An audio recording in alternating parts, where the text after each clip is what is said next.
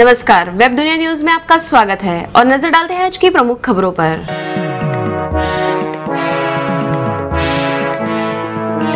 Police को ठुल्ला कहने पर केजरीवाल के खिलाफ शिकायत। दिल्ली पुलिस के एक कांस्टेबल ने मुख्यमंत्री अरविंद केजरीवाल के खिलाफ आपराधिक मानहानि की शिकायत दर्ज कराई है।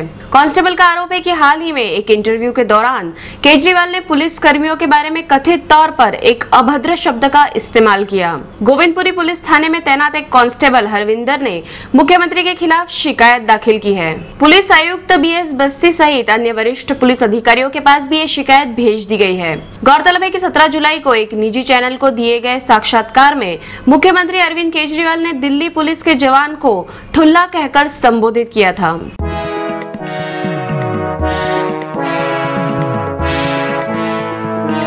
पाकिस्तान ने फिर तोड़ा सीज फायर लगातार अपनी हरकतों को जारी रखते हुए पाकिस्तान ने एक बार फिर सीज फायर का उल्लंघन किया है। रविवार रात जम्मू के पुछ में शाहपुर कैरनी में देर तक पाकिस्तान की तरफ़ से जमकर फायरिंग होती रही। पाकिस्तान ने पिछले पाँच दिनों में सात बार भारत की सीमा में फायरिंग की है और सीज फायर को तोड़ा है। इससे पहले पाक ने गुरुवार को जम्मू सेक्टर में सीज फायर का उल्लंघन किया था। गुरुवार को पाकिस्तान की तरफ़ से गोलीबारी में एक महिला की मौत हो गई और बीएसएफ के एक जवान समेत दो लोग घायल हुए थे। भारत ने पाकिस्तान की ओर से जारी इस गोलीबारी के खिलाफ कड़ा विरोध दर्ज कराया है।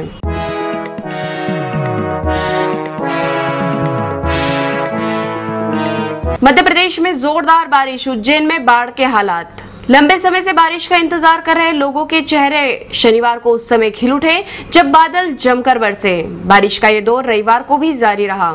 बताया जा रहा है कि समूचे मध्य प्रदेश में बारिश जारी है। उज्जैन में इन दो दिनों में भारी बारिश के चलते शिप्रा और गंभीर दोनों नदियाँ उफान पर हैं। तेज बारिश के चलते उज्जैन में 24 घंटे में रिकॉर्ड तोड़ 17.5 इंच बारिश हुई।